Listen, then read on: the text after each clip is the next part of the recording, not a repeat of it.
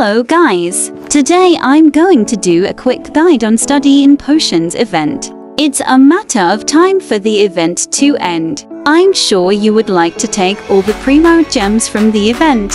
So I would like to help by sharing some tips that I know. It's important to plan the order of stages you will fight. As an example I fought the Hydro Mimics first because they were hard for me to deal. Treasure Hoarders second, Stone Vorchel third and the Geovishap fourth.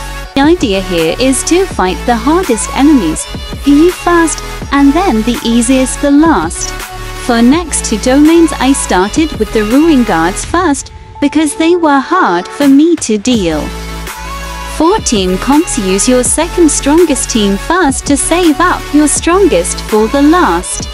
For potions, I would recommend to use decent potions for the earlier stages, so that you can beat the late stage more easily with better potions.